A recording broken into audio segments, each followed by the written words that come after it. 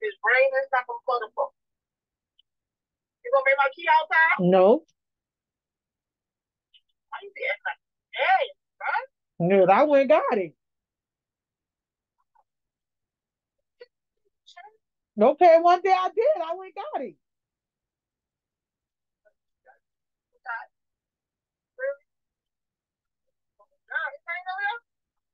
It was, but I don't think it's no more.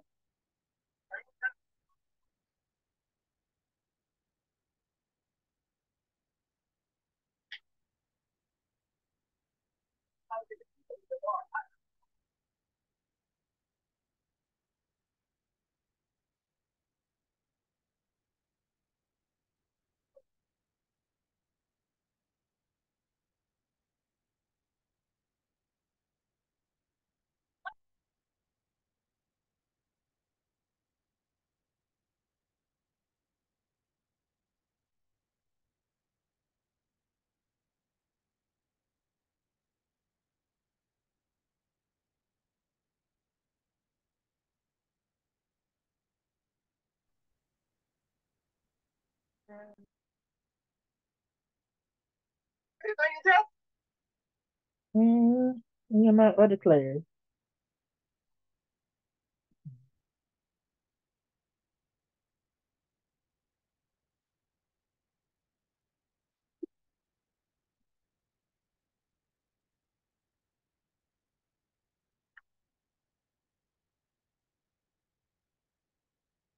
Me a motion, hope I don't fall asleep.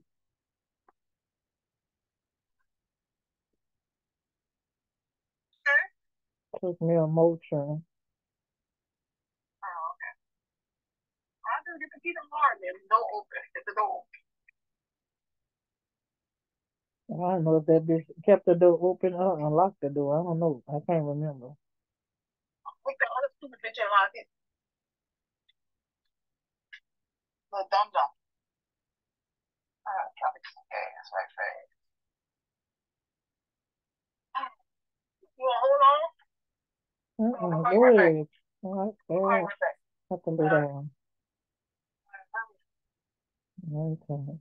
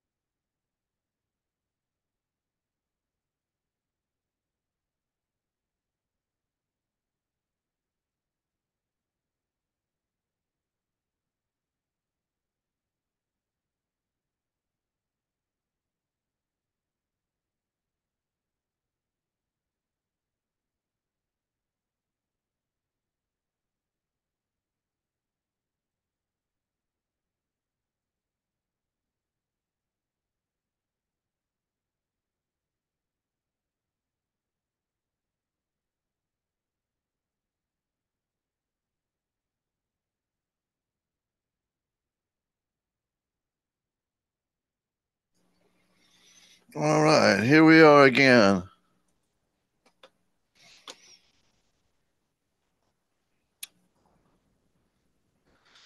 Okay, remember next uh, Thursday is uh, we're off for Easter. Okay, let me share.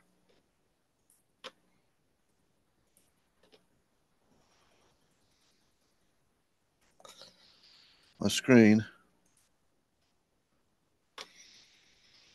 All right, so next 328 is holiday, Easter Thursday, whatever we call it. And that's the extent of our spring break. Now, uh, Tuesday, it'll be an open review day. I'll try to come up with something for us to do, but I'm going to finish up tonight the chapter. Okay. So, uh, next week, bring any questions you got on Tuesday. I'll be glad to go through it. I mean, from start to finish, both section uh, classes if you're in both. So bring any questions you got. I don't mind going through things. And uh, after Easter, we're going to have we're going to have a one day review again, a work day. You have your uh, I think your uh, the review opens on this day, and then it'll still be open here on the second, and it'll be open right up until class time. And what this is going to be is a Zoom test. I want to be able to watch it. Not that I uh, suspect anything. I just uh, had heard about Zoom tests, and I actually uh, like it. I like. Uh, I think that really would work better than the uh, respondus, but the respondus is what the I have to do for the midterm and the final anyway. Like I said, I think I like the Zoom test. To me, that's all I need to see is people's faces and eyes and stuff. All right. Does any uh, does anybody have any questions before we uh, get turns started?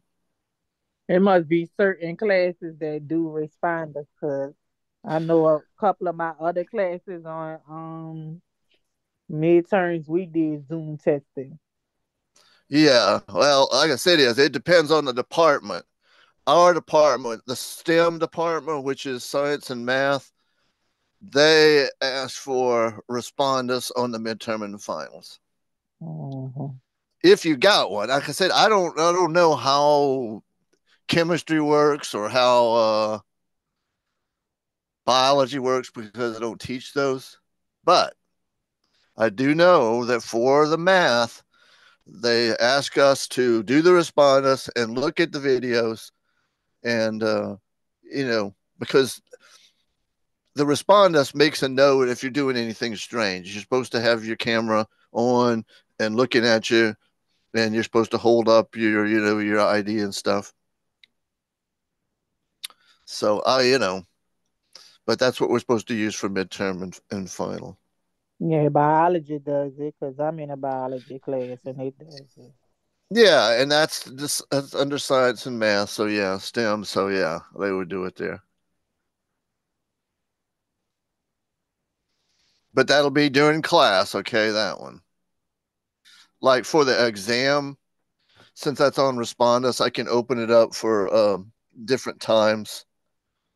You know like i might do it from uh, starting early in the 5:30 time and keep it till uh well actually you know for the for the exam we're we're already uh, off of class time so there'll be an exam time. Most probably what it'll be is be 6 to 8 so make plans for it okay cuz I don't really control are you talking about? I'm sorry. see that right there Yeah, May May first. right Okay. that's the day that everybody tests on for our class. We're going to have uh, in the O2O, the exam will be a couple of weeks earlier, and that class will be over with as far as um, you know grades are concerned. And then we'll use the last uh, uh, days in the O2O to concentrate on this class. Okay, so when exactly last day of class? May first? Because if no, not, I have the a last day of and- class, the last day of class is right here. April Oh, twenty in my face. Okay. Yeah. Okay. Oh my God, it's almost over. See, notice that okay, this class meets on Tuesday and Thursday, but notice by the exam schedule, it's a Wednesday. So just remember that's uh, something that students have a hard time getting used to because they think, well, how can I have a class on? How can I have the exam on Wednesday when the class meets on Tuesday and Thursday? It's because after the 25th, there are no more classes on regular days, and we go to the exam schedule. And what's the highest grade you need to pass this class? Uh, you mean the lowest grade? I meant to add the lowest grade. Well, you want to make sure you have a seven a 70 overall. Okay. Now let me just mention this. All right. Because I'm sure people are concerned about this. So I just want to make sure this is straight. You've got plenty of grades left if you're like in the 60s, okay, to bring your grade up.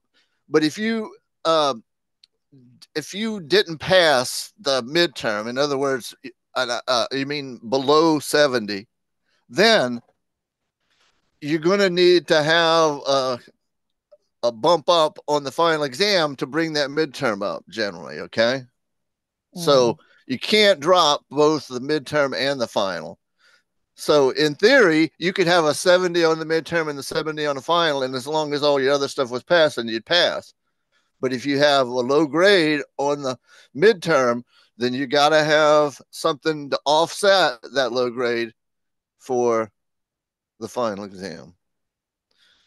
But my mm-hmm. strategy is pretty simple. If you're struggling, like I said, in the 60s and even a little bit below that, the chapter 10 test is the test to come. This test here is the one to come alive on. You're going to have that review for it that's going to be out there. You can work it until the cows come home, until you're sick of it. But if you do well on that test, that's going to give you a lot of confidence because this is a, not an easy test. This material, the reason why we broke it up is because, you know, we don't want to have too much on it, but this is still going to have all this stuff we discussed so far from 10.4 to 10.7 on that test. But that will give you confidence to jump in and do well on the rest of the tests. Isn't that test only five percent? Of It's only grade? five percent. That's correct. But I would just say this: if you do well on that, let's say you make a high B on that test, then that's going to give you a lot of confidence because that material is going to be on the final exam, and then you're going to have this test. All right, that's going to be a take-home one. It's not going to be over any particular time. It won't be Zoom. It won't be uh, a respondus. And then the last test is on chapter 11, which we will start covering after we have this test, after the drop date, essentially. And so that's three more tests. I will drop one of those test grades, but you got to remember the midterm and the final don't get dropped. The department, the department wants to make sure I'm not just, you know, an easy grader on my tests. So that's why you've got to have pass an average on both the midterm and the final together.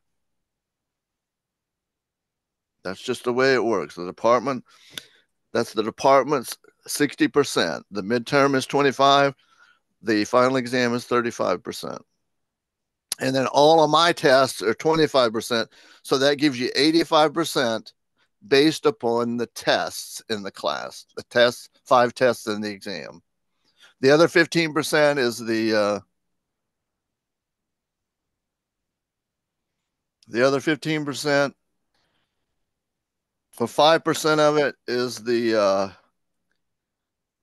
actually I should say here um, test preps because they're not coded as quizzes right now. They're coded as, as tests, but that's the ones that prepare you for my tests and the midterm and final. And then all that learning path, that's only 10%. But 85%, my test, the midterm, and the final or 85% of the grade. So the 120 is primarily based upon test grades. So that's something we got to get used to. All right. Mm. I know it's a hard, the, the hard line to follow, but that's the department and the one It's cent. hard, Mr. Cruz. Yeah. So when gonna drop it before the finals, the la- the the last the lowest score. I don't even know what I'm looking. at. Yeah. f- As we get in after the, uh, after the last test, after this is done, I'm going to go in and I'm going to make sure all the grades are taken care of. I'll make sure it gets dropped. I'll drop a few of the, uh, uh, the uh, learning path grades. I'll drop a couple of the uh, test prep grades, and then I'll drop one of the test grades. You know what? I think I like you after all. Well, that'll help you with that. Like I said, is but you got to realize the midterm and the final are not optional to pass. Okay, but just because. I'm sorry, couldn't eat. I apologize. That was rude. all right, but just like I said, is um, the midterm and the final have to be seventy or above, and provided that all the other stuff is above seventy, you will skate by. So what, what were you going to say, Felicia? When our next test? That one gave me a headache. I just went blank. I can't. Right here. stand- Four four. Four four. Oh, that's the one That's that's two weeks. That's like two weeks. Yeah, that's I the got hard two weeks to prepare. I got two weeks to get this. You'll get it. I've seen your work. You're gonna get it. Mr. Cruz, I have a question. What's How many- up? For final, We don't know. I mean, it's everything, and it's going to be a two-hour one, so it'll be big. You know, bigger than, and it's usually about thirty problems, but you get two hours. Twenty-five to thirty, kind of thing. How about 15? Well, all of them mine, since they're in an hour and 15 minutes, are about that, about 15 problems. But um, since we're getting two, like I said, I think they generally add 10 or 11, something like that more. Because it won't be more than 30 and it won't be uh, less than 25. Something like that is usually what it is. For final? Yeah, final exam. Because it's a two hour exam. So it'll be, uh, you know, proportionally longer. And you'll have a review for it. So, Shit. Hmm, I'm trying to we get the looking- concept. what's So I that? have. That What? last we did, w- or the midterm, I Mhm. done a review and kind of done really good. Well, it was real decent on a review. Then I get to the test, and it was not what I thought I would have made. It wasn't Well- because it's like it switch up, it switch up when you You know, study uh, it, then I'll just tell you this in it's general. You will never know exactly what's going to be on there. What that review is, it's a review of everything, more or less. And, you know, with mine, with my tests, I try to make them more or less the same. Sometimes I make them a little shorter when we have the test, but, you know, you're never going to have exactly. So that's why you're going over more on the review than you would actually have on the test. I'll try to work with you and help you, but make sure you got questions, okay? If you got anything on the review when we get there, bring it up and I'll give you as many pointers as I can on how to deal with things. Okay? Four, four. Hey, March. And I got another question. Mm-hmm. So these these March. dates that's on this um on this list right here for like the the re the um what the damn things called? The What are you looking at? The sections, like the section, like chapter 10.2, 2.10.3. Yeah, so chapter uh, the, the test is coming up. No, I'm trying 10.4 to to 10. Listen, those Mm-hmm. due dates are different than what I'm saying on here than it is on Canvas. So those different. Well, those these this is the official calendar here. so I don't. know If there's something different on there, I will fix it before. But this is the official calendar. That's why I always, you know, when I go over this at the beginning of class and I go over at the beginning of class. But uh you got to realize, first of all, Canvas is crazy because it's syncing up dates, and I may have the wrong date on there when I set it up. I, I'm just trying What, to, see what was to go what was different? because The section dates, like some of the dates are different because, like, if you do it after the date, you don't get your points for it. Versus if you do it before. okay? You're talking about the learning path. yeah. Okay, Well- let me explain one more time how the word learning path works. So you say it's not Okay. points, but I want every point. Okay, well, this is how you get every point. If you finish before that due date for that section in the learning path and you get everything right, it's going to be 100. But here's the bad news because ALEKS is going to test you to see if you really know that stuff. So it could bring in the um, knowledge check. And if you miss it there, then it will go back and and deduct from your score there then. Okay? But again, nothing ever disappears from your learning path until you master it consistently. You know how when you answer a problem, if you get three in a row, it bumps you ahead? Whereas if you miss some, you're going to have to do it more. That's the way it works. The whole Yeah. system is based like that. So it doesn't let you forget it just because you got it in the beginning. It's going to keep testing you. I need to keep just- testing me up on this chapter we on. What I'm saying, that's This that's is what I'm hard. saying. Go So ahead. I'm Uh, is, if ten point eight is due tomorrow, and I and they say the due date is due today, I mean tomorrow on this list that you're showing versus in Canvas, it's it's saying that it's due March 30th. okay. In ALEKS, what does it say? Let me go to it. Let me go ahead and look. Because, like I said, I do not go by what's in Canvas because Canvas screws things up. So you go by this. This is what I suggest doing is within two days of coverage. That's why I put this up here. Work on your path and try to get it done. So by like Monday, this sh- should be done in theory. Now, What is the date in there? Oh my gosh, I'm behind. You That's say what I'm Yeah, saying. because we're working on now. You're not on behind yet, if you but let me see. Let me see what uh date it's got in here.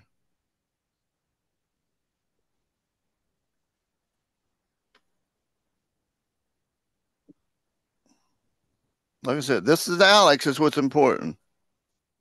So ten point six is due by Sunday. 324, you are correct. That's It's what we covered Sunday. last that's what we covered last week, last uh, one week ago. 10.7 is 327 and then this tonight will be at the end of the month. But it's So- good. You gotta catch up. You gotta catch up. Uh, the like for everything you missed, they have a catch up date, right? Yeah, So- they do. Like I'm saying is you never lose anything, even if you miss those dates. But this is what I suggest within two days of coverage in class, have it done, and then that'll work out better for you. So do you All right. have ten point six on here? Is due on Sunday? Well, if you said that date is, I mean, what is it? What no, what do you have on your paper? On the other on well, the other on my sheet? on this paper, yeah, what what is well, when did we cover? We covered it on the 13th, 23.6. on the 14th. So it should have been done on the by the 16th, according to my rules. Okay. So you see what I'm saying? It should have so is I'm behind because it's saying three fourteen or I'm where I need to be because it's saying Sunday. Yeah, you're what you because, like I said, ALEKS will give you more leeway than I do as far as this is concerned. But I'm just look, saying if is- you uh if you go to the the what all the uh cabins they say catch up, you can always catch up on the topics you missed. Exactly. And that's the whole point. Right, but I'm not You getting never losing points any- stuff that I'm catching up on. Yes, you course not. Of course, No, well, you are. no. You're just not going to get full credit. I don't get Because- anything. I've caught up. Yeah. But you learn the material. Okay. Now, let me just say this before we got to get to the material here. But in theory, you could just blow off doing the learning path, and that would only lose you 10%. Because I have a, a student last semester, they were very upset because they could not keep up with that learning path. And they went and talked to everybody, and uh, I think the boss told her, "Well, just concentrate. He's got reviews in there. Just work on the reviews." Well, that lady, she went crazy, and she just worked on the reviews, and she aced all the rest of the tests, and she made an 88 on the final exam by using the reviews. So I'm going to say it is because if just because you don't keep up with the learning path, it's not the end of the world. And I will end it there because I want to make sure we have enough time to do this without going. Uh, okay, getting- thank you. all right. All right. So for multiplication, multiplication is what we do when we have and. So I'm just going to put right here.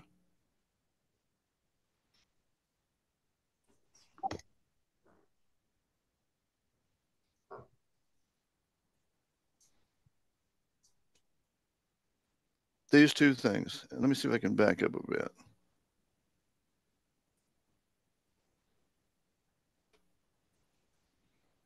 So from 10.7, or means add. For 10.8, and means multiply. Hold on, I need to write that down. Well, I'm writing it in the notes. I'm writing it down for you. But you can write it down. All right. So 10.7, which we did last time, we were adding, or means add. And that's consistent with what we did in chapter two and chapter three. Same thing with and.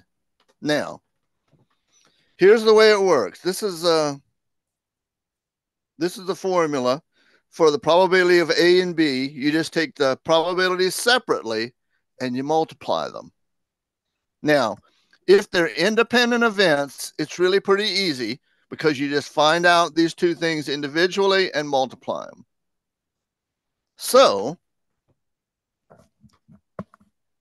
suppose we roll a dice twice, a die, a single die. What is the probability of getting a six and a three? Well, let me write out formulaically the probability of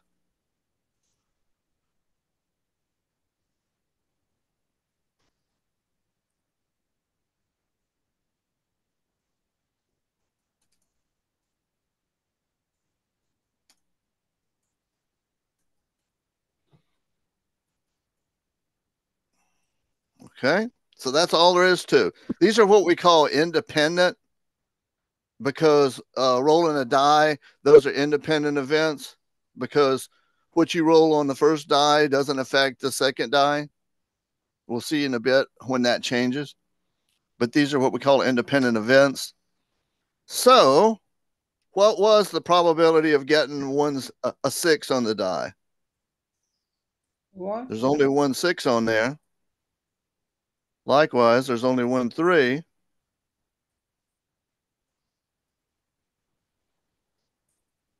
And remember, when we multiply fractions, we multiply numerator times numerator. So one times one is one. And the denominator, six times six, is 36.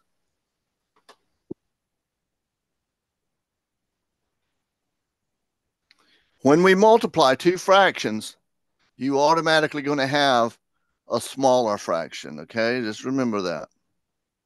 When you multiply a fraction times a fraction, you're getting a smaller fraction. And that makes sense intuitively because to get both of those things is harder than just getting one of them separately. Okay? So and means multiply. Mm-hmm. And means multiply.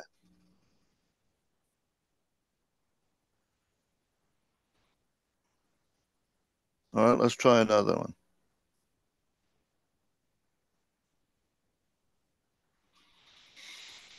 All right. I'm going to get rid of this. But I got it right there worked out. All right. So find the probability of rolling a five on a die and then flipping a coin and getting a tail. Now, these are independent too because the die and the tail do not affect one another. All right. So what we're going to do here is we're going to put in the probability of five and tail. So there's a probability of five I can't say booty you without buying. times the probability of tail. Okay. So there's six sides on the die. We want to know the probability of a five. So that is one sixth, just like up here. That was two rolls of the die. This is a roll of a die and a flip of a coin. What's the probability of getting the tail on a, a coin? Two,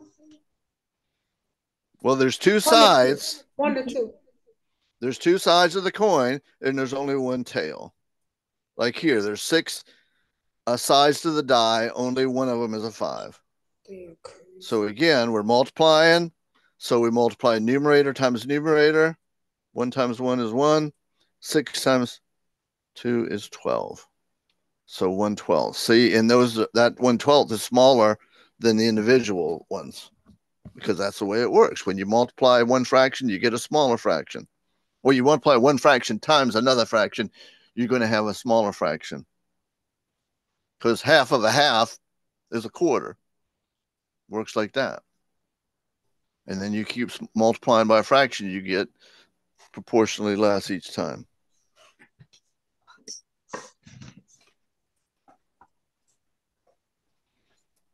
All right, now for dependent events.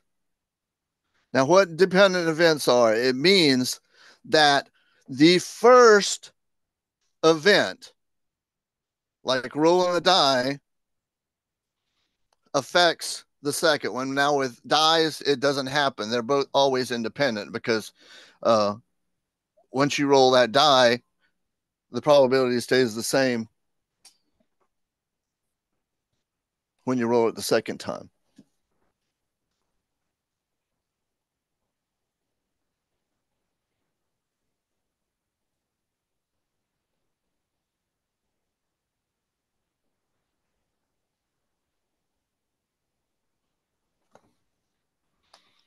All right.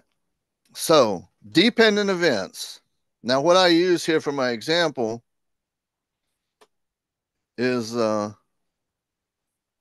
and see, I got this worked out up there, so I'm erasing this. I'm just trying to keep us active. So what we're doing is we're looking at this one.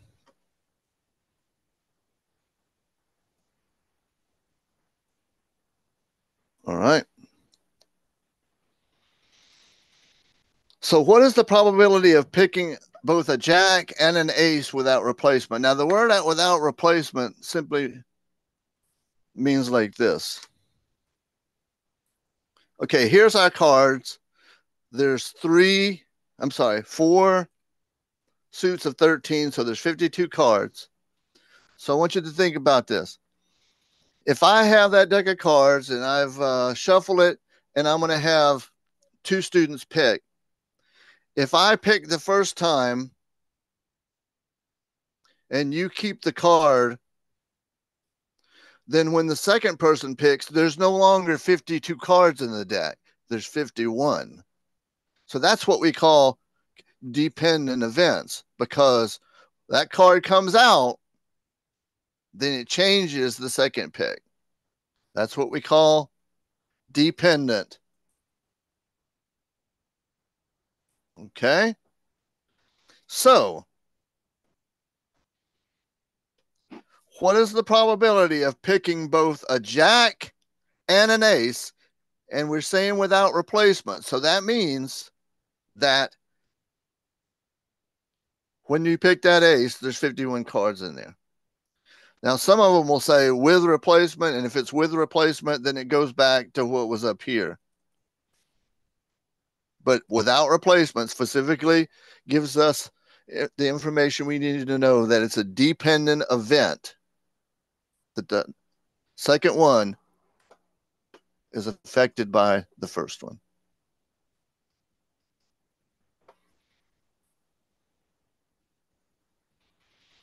All right.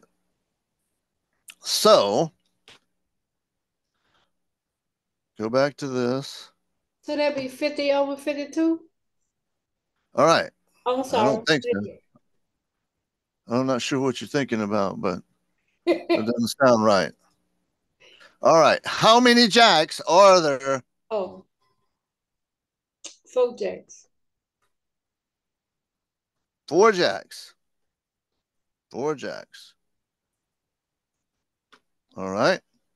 So I'm going to type this out. The probability of jack and jack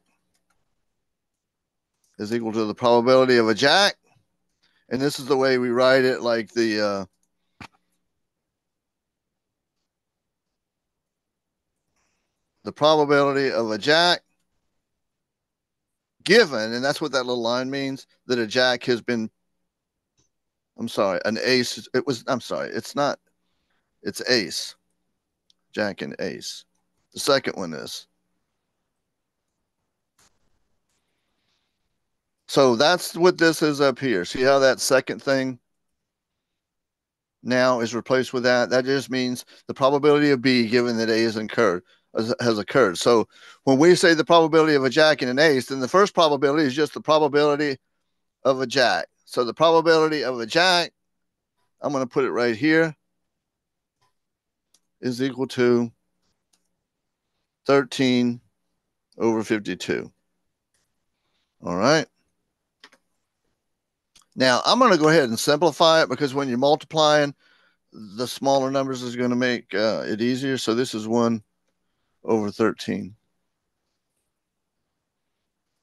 So you got 13 jacks in a deck? Not the last time I checked. There's just uh, four, right? Four. But what does 13 over 15 simplify to? Yeah, but wouldn't it be four over fifty-two? Oh, I don't four- think so. How are you gonna get a four- four- four- 16 over 52? Because you got four jacks on each suit. Oh, I'm sorry. It was four. Uh, Why did I put 13 in there? Okay, thanks for. Here, I thought I was, y'all were the crazy ones. It's me. so the probability of a jack is four over 52. And then that simplifies down to one over 13.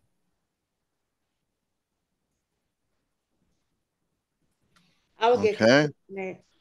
Well, I mean, you can leave it as four over 52, but then you're going to have to simplify your fraction. Now, here, Oh, that's right. See? Oh, okay, I got you. I'm with you. I'm with each you. I'm with you. each one each one of the suits has one jack. Each one of the Right. 13 suits has one jack. Right, now So that I see therefore, okay. okay. Now, what's the second one? Now, we got to realize now, going back over here. All right. This card, one of these jacks is now gone. All right. I'm just going to say it's, it's that one. It doesn't matter which one because it just jacks. So one of them is gone. So how many jacks are left? Three. All right. Now, for this one, it doesn't matter, but one card out of the 52 is now gone. One of the jacks. But that's not going to matter for us on this first one because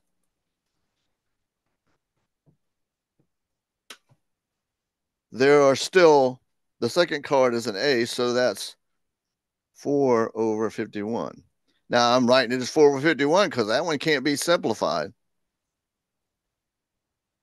We can't simplify that down like we could this one. But when you multiply, you want to have them simplified because it'll make the math, uh, math easier. So then we're going to multiply across. So that's four. And down here, it's going to be 13 times 51. So 663.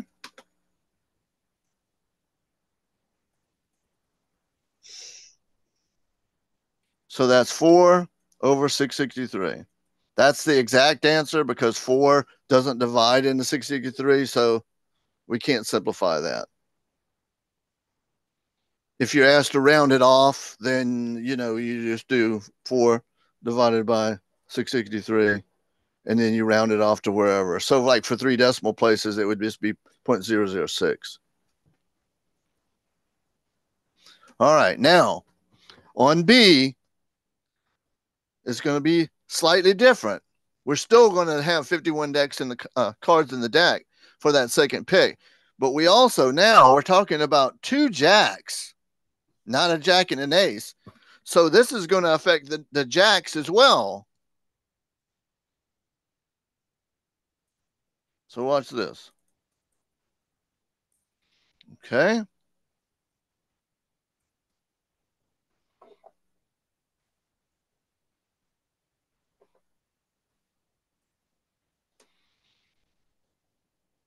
Probability.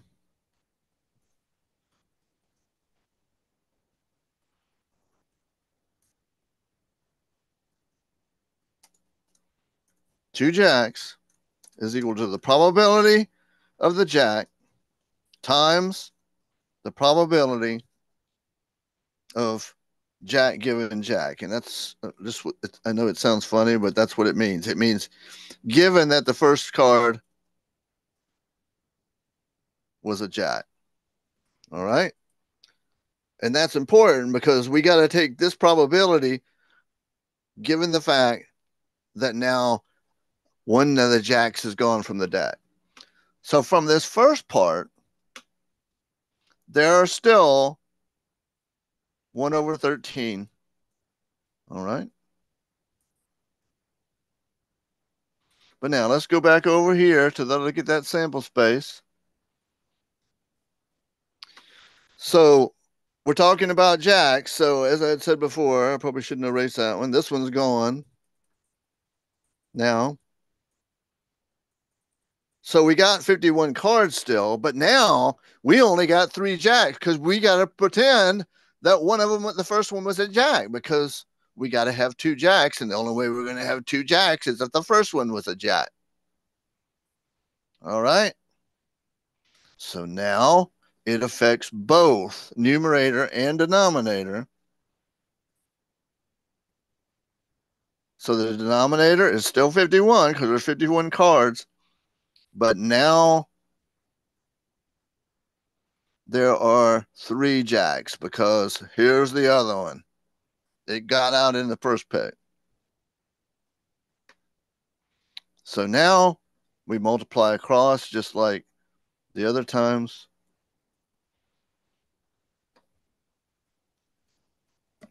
So 1 times 3 is 3. and 13 times. Oh, it's 51. What is what I was about to say I'm very confused, but never mind. Yeah, 51. Because I was talking about a three when I probably wrote it. They're confused. Well, it's fixed now. See, that's the point. You got to realize everybody makes mistakes. So, see, I ca- uh, caught that because I went back. Because everybody does that kind of stuff. You write down something wrong. That Oh, happens all the time. It's me. It's not you. What I'm just saying is Yeah. that's something that happens everything. That's why I'm not afraid to make mistakes. So I'm going to come back and show you that I have to be self correcting. That's why I don't hide my mistakes. I try to make this interactive and just how it- you would do it. All right. So now in the denominator, 13 times 51. So that's 663. Same thing. So now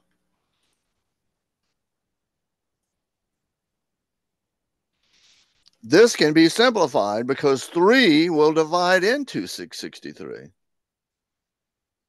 Two, two, one. Yep. So this is going to be 1 over 2 21. And uh, you can simplify it. 1 divided by 221. So it's now 0.004. I'm sorry, 0.005. So watch your rounding off because some of these things will change based upon because you see that's a different probability now. This was 0.006. This is 0.005. See how that one little change affects it. Excuse me. All right. So, any other questions about that? Like I said, I know I messed it up initially, but I usually catch most of my mistakes, and y'all catch the rest. All right. So now,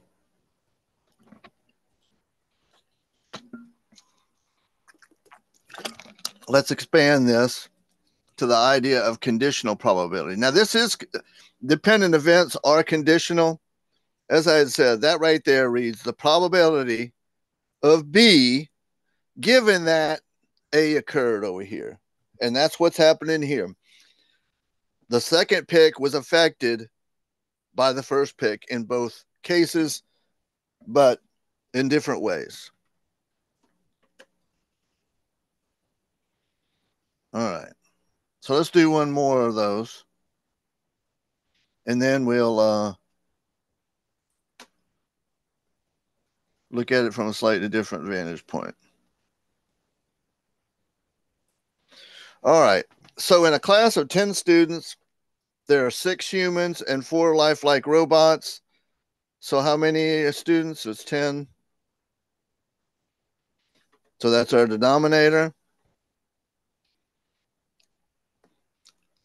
What is, if we pick two of them, what is the probability that both are robots? Well, robot and robot is simply the probability of robot times the probability of robot given that the robot was picked on the first one. Because if we want to have both robots one's got to get picked on the first. That's why it's dependent. So what's the probability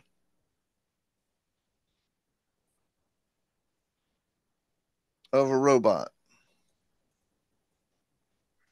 Four out of oh, ten. Yeah. And I'm going to simplify it. So that's going to be 4 over 10, but I'm going to simplify it in the second part. Just to make the multiplication easier, because that's now 2 fifths. When you're multiplying, it's good to, to simplify them first. When you're adding for the 10.7, keep the same denominator and then you simplify once you add them. All right. So I'm going to put two fifths here. You could put four tenths. And if you're good at simplifying fractions using your calculator, then that's fine. But I'm doing it by hand. So now, what changes now if we picked one robot? What changes? You're picking one robot and you're bringing it up in the front of the class. How many students are left? If there were 10 to begin with. Aren't there nine students left? If I pick one, doesn't matter whether it's a robot or a human, but in this case, one of them is coming out, so that denominator changes now. Now, since we have to have robot, robot, and we picked a robot the first time, oh, wait a minute. I see here. This is what I get for talking. which I can't avoid talking and working. So two fifths, because it meant to be that one up there. Now, one of them is gone. So four minus one is three. All right. And then we can also simplify this one. So it would be two over fifth, five, times one third. And if you do it like this, if you simplify them beforehand, it won't be so hard to uh, reduce once you multiply it. This is now going to be 2 over 15. And there's no there's no uh, common factor between there. So generally, when you have your uh, these simplifying, then when you multiply, you're not going to have to worry about simplifying them. But if you're good with that, Alex, I mean that uh, TI calculator, it does simplify the fractions. I can kind of show you uh, a YouTube video, or you can go out and Google YouTube. Like for example, um, put in there the TI whatever is 30x 2s, and uh, put in simplify fraction. If you do that, you'll get videos, and you pick the one that you want to show you how to do it. That's the best way for this class because I don't have a virtual calculator that's TI.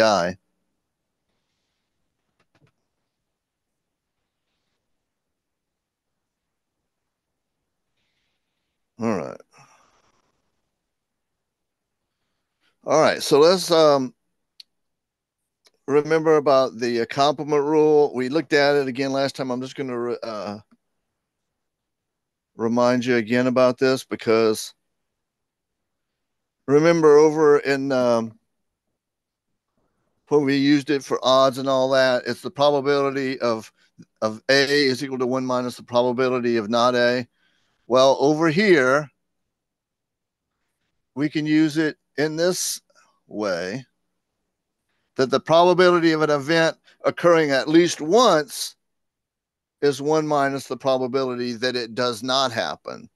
None, in other words. So again, to use it briefly here before we get to the last stuff. When we were looking at all these trees, there was a pattern. But here's the sample space for rolling, uh, oh, I'm sorry, flipping a coin twice. You can either get two heads, you can get a head, tail, you can get tail, head, and then tail, tail. So if we want to find the probability of getting at least once a head, then we got to find the probability of no heads. What's the probability of no heads or all tails? Yeah, look at this right here. There's only one out of them that's no heads. One. So this is 1 minus 1 quarter, which is 3 quarters. And you can see, and this is easier to do when you don't have the sample space in front of you to use the complement rule. All right. But I just want to try to build your confidence in the complement rule because it's important. See, all of these right here, they have at least one head. See, there's two heads. There's another head. That's got one head. That's got one head. So this is the no heads. So one minus that one out of the four leaves us with these three over four. And it doesn't matter how many times you flip that coin, you can see on the bottom one there that it still works. You will always, in this case, when you're talking about that coin flip, uh, we looked at those sample spaces there was one at the top and one at the bottom. The one at the top was like all heads, and the bottom uh, one at the bottom was all tails. So there's one exactly out of the eight because when you flip a coin three times, you're going to have eight. So it works for that too. So again, I just wanted to make sure that you realize that this complement rule can shorten the path because it's a lot easier to find none than it is to find at least, usually. All right, so here's the rules that we've got so far. There's the complement rule, which is what we just used. We just uh, it's just worded slightly different when we got none and when we got at least one. If we've got dependent events, the probability of A and B is equal to the probability of A times the probability of B given that A has occurred. That's like with the two cards thing, not replacing them. If they're independent events, then that means that the second one isn't affected, so you don't have to do anything to that second. So you just multiply them. Now, remember for OR, there's I want to like to look at the one formula, and that's this one. Because if we have mutually exclusive events, then this part right here is zero. All right. It means you're subtracting everything out. That's what the gist of 10.7 is about. That if they're mutually exclusive, given this right here, this is what's telling us that, then this right here is going to be zero. But if they're overlap, like for say diamonds and aces, in order to find the probability of a diamond or an ace, you multi- you add the probability of the diamond, the probability of the ace, and you subtract out the probability of both. All right. So that's those rules right there. Now, there's going to be some questions in ALEKS that relate back to this right here that I have outlined. Okay. So remember that because that's telling you what you need to know to answer some of those questions. It's really the same thing as what was up there, but it's kind of written out in the ALEKS way there.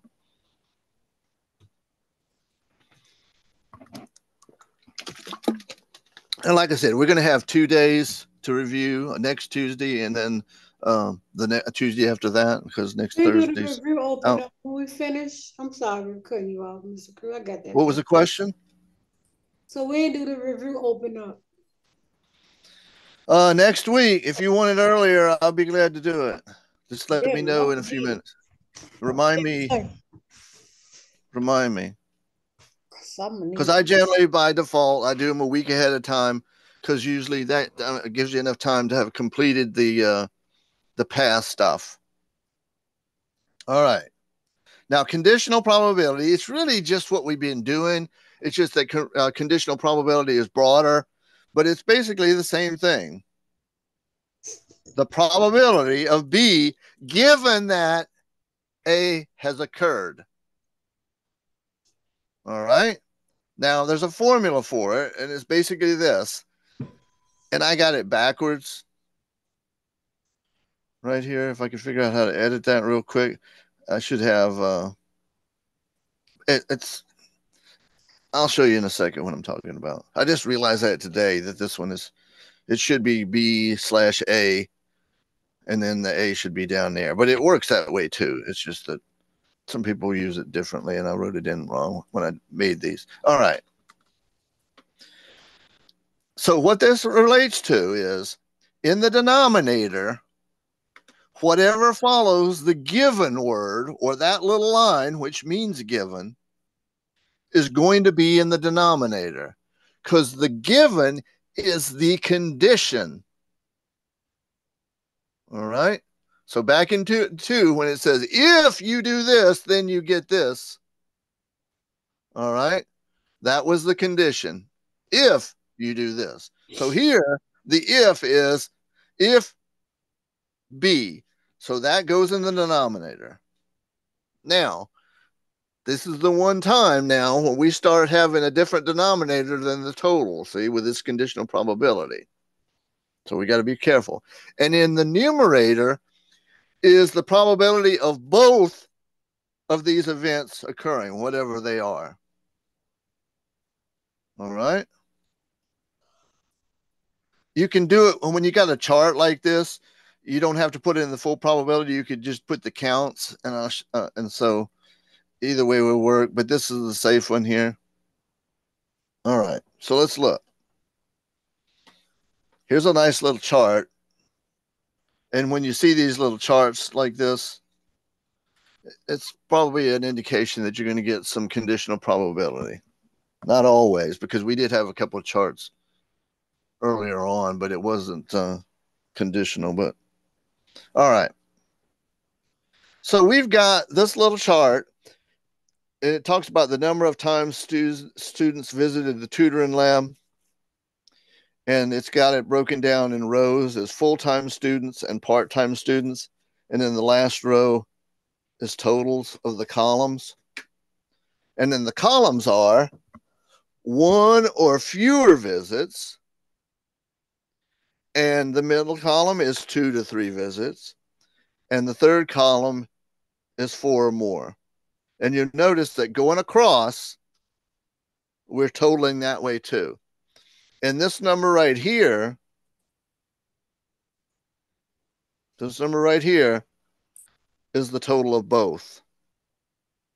45 and 13 add up to 58. 14, 14 and 30 add up to 58. So that's the total number of students. So for a basic probability, which this first one is, take that answer.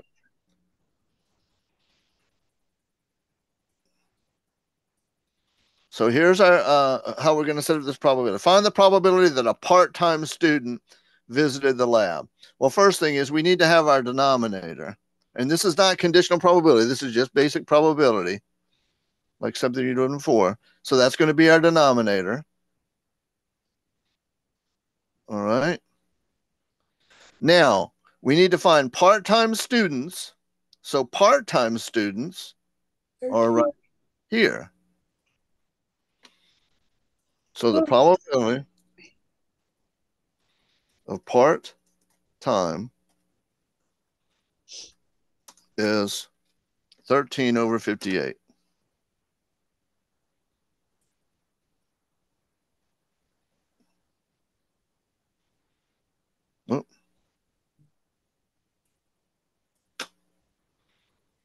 13 over 58. And then if it's uh, you to round it off, you know, to a certain death, then you got to do the calculator. So um, 13 divided by 58.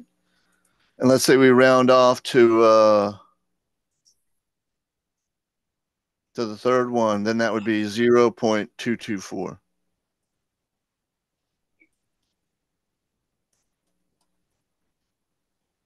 Third decimal place. That, that's the uh, tenths, hundredths, thousandths. All right, now here's where we get our conditional stuff. To show the contrast. Using this same chart, we want to find the probability now.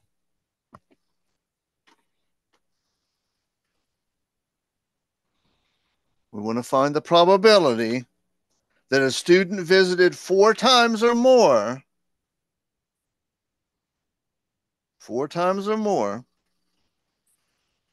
in this right here, given they were full time. So the given is the denominator. Remember back over here on this? What follows the little line, the given, that little line means given. So if it's written out, was the word given, but if it's a line, you imply that it's given. That goes in the denominator. So now,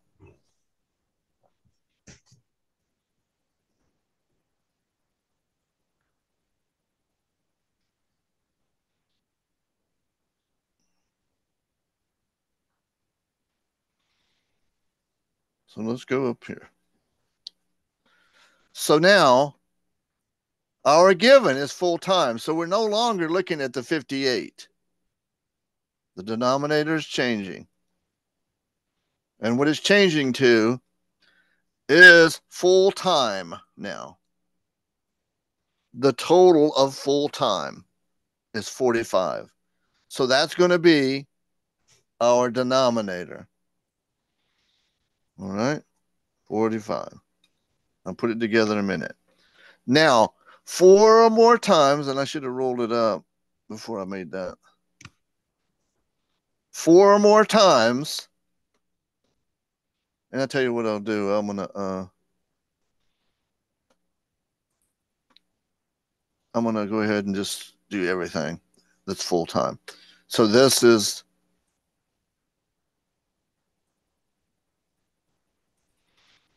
the total of full time, but I'm only looking at that row because what the condition means is I'm only going to look at full time students. That's the given, that's the if. If they're full time, then how many visited four or more times? Well, Eight. exactly. So then our fraction is then 8 over 45. So this is the probability, and I'm going to write it out here. Even though I had it, uh, I was going to do it down there, but I'll put it up here.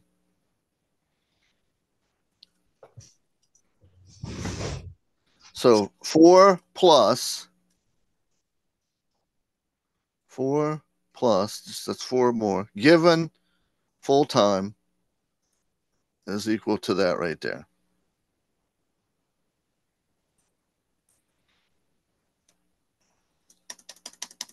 All right. Because this right here tells us the denominator. The whole column is 45. That's why it's down there. And the one where it intersects full time with four more is the eight, and that's the numerator.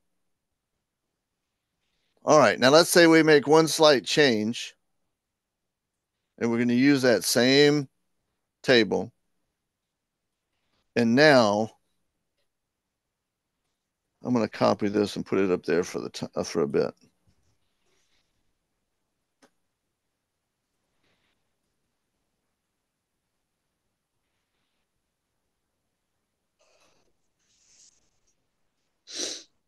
So this is the question I'm going to answer now, just so I can we can still be looking at the table. All right. So let's erase this. Because now there's something different. Can you tell what's different about this one than the other one? The other one was um, four or more times given they were full time. What's the change now? I'll show you. It's the probability of full time now given four plus. And this is going to make a difference. The order changed. It's going to make a difference. And watch what difference it's going to make. Now we're not looking at that row. We're looking at the column of four more. Because now what follows the little given line is four plus. All right. So now that denominator is different. 14. It's 14 now. All right. So I'm going to put that there.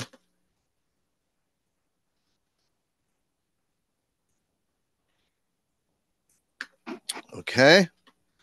Now they still meet at the same place, even though they're turned around. The denominator changes, but even though they're turned around, that numerator is still Eight. this radical. But that's a different probability when you do turn them around because it changes that denominator. The given is always what goes down in the denominator, and that's the only group of data you're looking at, whether it's a row or column kind of thing. All right, let's do one more visually and we'll be done. Um, these, this is just to show you that all probability doesn't have to be about gaming stuff, but sometimes the gaming stuff uh, is easier to visualize. So this next one's going to be kind of a, a spin the wheel of fortune kind of thing. All right.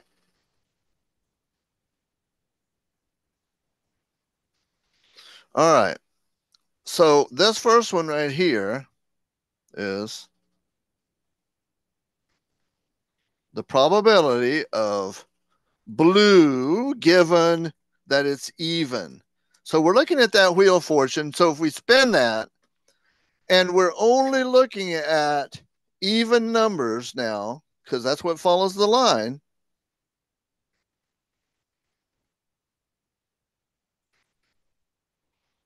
That, whoops. Four and six. So this is an even number. This is an even number. This is an even number. And this is an even number. So what's the, how many are those that are even? Four. Yep. So that's our denominator. We're just counting them. Now, out of those that are circled, how many are blue? Three. Out of those that are circled, how many are blue? Two. That one and that one. Oh, the two even numbers. Okay. Yeah, that's what it is. Get out of those. Out of those that are even, how many are blue? In other words, how many are both even and blue? Right. So then this is one half. Mm. Okay. All right. Now the next one is find the probability of odd given the color blue. So I'm going to write here probability of, let me see if I can make it a different color. Two, three, five. One, two, three, four.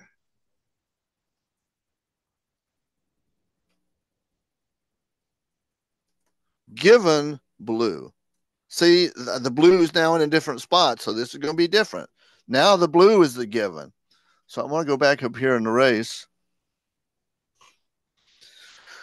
All right. So I'm going to only look at the blue ones now. And uh, what should I do to Three, four, five, circle that? three, seven. Uh, probably odd, odd. So I'm only looking at these now Hmm. because there's my given. That's my condition. Oops, I I messed it up. There we go. It's uh right here. So there's my condition, the blue. So the other ones don't matter now. So our denominator is three.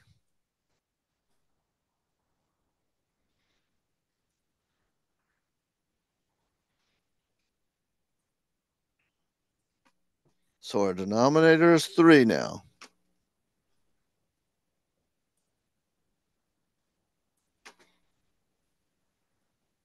So last question. Out of those that are blue, the ones that are circled or outlined, how many of those are odd? One. This one. Oh, help me get this. All right. So that's it uh, for tonight and finishing up the chapter. Have a good weekend, but please bring back questions on uh, Tuesday, okay? Short week. You open up the review? Okay. Thank you. Thank you. Yeah, Thank I'll you. do that right now. If you got anything else, you can stick around. Good weekend. Have Okay. a nice one. Good night. Bye bye. Y'all see y'all Tuesday. Have a great one, Mr. Cruz. Bye bye, Emily. Bye-bye.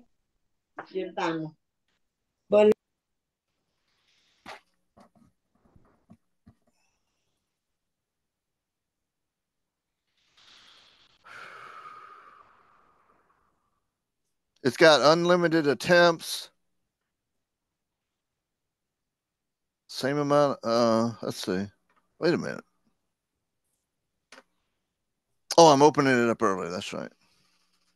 So I just need to change it to uh today. And that should do it. Thank you. Oh, and it should be uh this should be um 5:30 uh 7 7 p.m.